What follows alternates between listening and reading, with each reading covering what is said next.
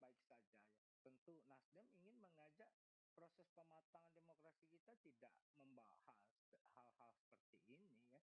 Kita punya banyak PR bagaimana menghadapi uh, dinamika yang dibilang oleh Bung Irfan tadi G20 menjadi agenda uh, besar. Tentu bagaimana ke depan masalah krisis energi, krisis pangan gitu. Itu menjadi poin yang lebih produktif untuk kita ya. Dalam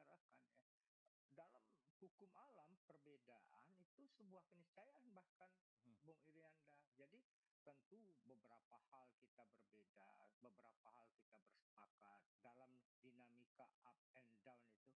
Kadang-kadang iman kita pun up and down, Bung Irianda.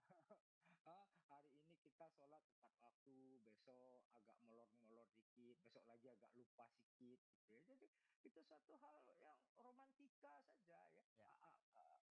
Ya. Nah, tapi keretakan itu tidak ada ya. Ada karena apa? Perbedaan sekali lagi saya tandaskan mengutip pidato Pak Surya. Hmm. Jikalau kita terjadi beberapa perbedaan yang yang di luar pilihan-pilihan tidak bersifat koalisi itu suatu hal yang wajar. Tapi Pak Surya mengatakan apakah sejauh ini yang terkait dengan kebijakan pemerintah, terkait dengan kebijakan pemerintah koalisi Nasdem pernah tidak bersepakat, tinggal dikonfirmasi aja. Hmm. Jadi bertepuk tentu tidak mungkin sebelah tangan. Setelah hidupnya ada resiko ya.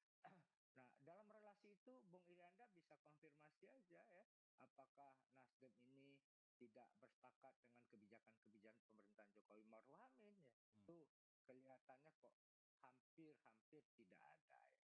Jadi itu hal yang kemudian harus kita lihat dalam konteks koalisi pemerintahan Jokowi Maruf Amin. Oke, kalau berbicara bukti empirik tadi, uh, Bung Willy memang kalau hingga saat ini juga Nasdem, menteri-menterinya juga masih ada di pemerintahan uh, Pak Jokowi begitu ya. Kemudian Pak Surya juga menyatakan bahwa uh, Presiden Nasdem saat ini masih Pak Jokowi begitu.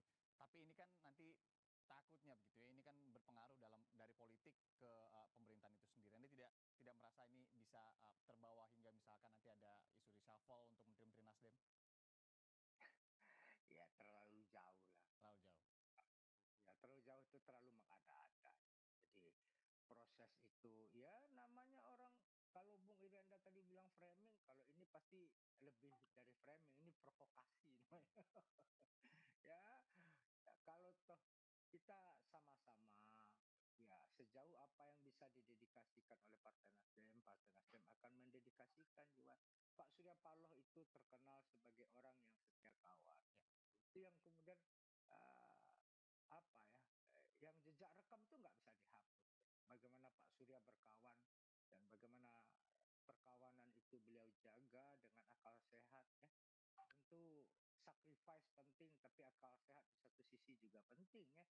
Jangan uh, sacrifice saja akal sehat tidak ada atau cuma akal sehat tapi sacrifice nggak ada. Pak Surya orang yang kemudian mengkombinasi dua hal itu, yakin ini masih akan mendukung pemerintahan hingga 2024 ya atau hingga pemerintahan selesai nih, Willy? Itu ditegaskan oleh Pak Surya hmm. sedari awal. Kalau sebenarnya kita telisik jejak digital ya.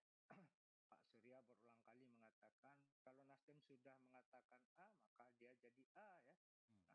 Nah, bagaimana? Tapi sikap kritis itu kan penting. Apalagi Pak Surya di satu kesempatan mengatakan pada Pak Jokowi tanpa tamparan seorang sahabat itu lebih mulia daripada ciuman seorang pengkhianat ya. Okay. Itu standing point yang sangat uh, apa ya? Satu standing point yang sangat objektif. Ya. Bahkan di dalam pidato kemarin Pak Surya mengatakan, "Eh, ada pertanyaan dari publik dan media. Yeah, yeah. Ini hubungannya retak. Ini mau jawaban yang jujur atau jawaban yang lip service gitu ya?" kan dijawab jujur sama oh. Pak Surya. Bung Willy, nah ini uh, berarti berarti Nasdem merasa ada tamparan dari Presiden Jokowi dengan gestur-gestur yang selama ini dihadirkan Presiden kepada Nasdem sendiri, tidak? Enggak ada. Itu justru statement Bung Irianda terlalu apa ya? Terlalu unkonteks ya. Unkonteks, baik. Ya. Uh, di mana letak tamparannya? Saya ya justru bertanya justru pada Bung Irianda apa bukti empiriknya ya. Jadi kita harus lihat lihat dalam proses yang ya ini sama-sama saling memahami saja ya. Frekuensi sudah sama itu apa pun enak lan kepenak kata orang Jawa Bung Ganda. Baik, oke.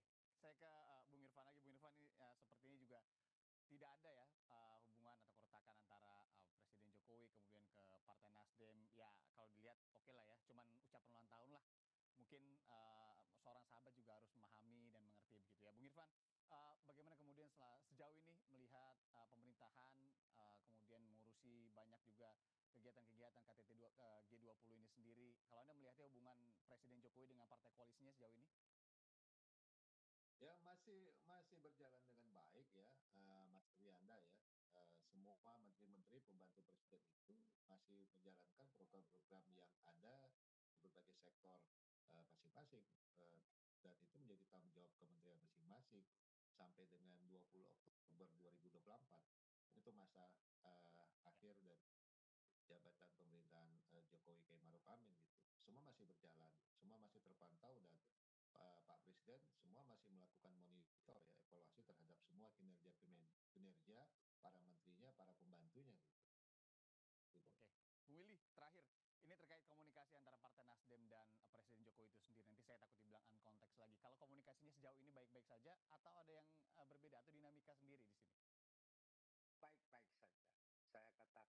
Jangan-jangan apa yang Bung Irianda katakan tadi kalau dalam pepatah kampung saya mungkin keterlambatan ini membawa barokah atau hikmah tersendiri mungkin ya. hmm. ya. Mungkin habis ini tambah ya, ya. mesra biasanya orang kalau ada selek-selek sedikit, abis itu kalau ketemu sangat mesra sekali kan gitu ya. Jadi jangan-jangan kita ambil hikmahnya aja kita selalu husnuzon, Pak Surya selalu mengajarkan pada kami positive thinking ya. Jadi tentu gelombang energi positif yang kita kirimkan akan disambut dengan suatu hal yang positif juga ya. Jadi sebagai anak yang soleh dan soleha nanti habis ini kita tunggulah jangan-jangan kartu ulang tahunnya akan lebih luar biasa lagi. Akan gitu, lebih hangat justru ya karena keterlambatan. Oke, Bung Willy uh, Aditya Ketua DPP Nasdem, kemudian Bung Adi Irfan Pulungan tenaga ahli utama KSP. Terima kasih ya pagi ini sudah mau berbincang-bincang bersama Indonesia Pagi. Semoga juga uh, better late than never begitu ya ucapan ini karena berurusan juga dengan uh, koalisi partai dan koalisi politik. Meskipun dinamika, uh, dinamika politik itu tidak bisa dihindarkan. Terima kasih Bung Willy, Bung Irfan, selamat pagi, salam sehat selalu. Salam sehat selalu.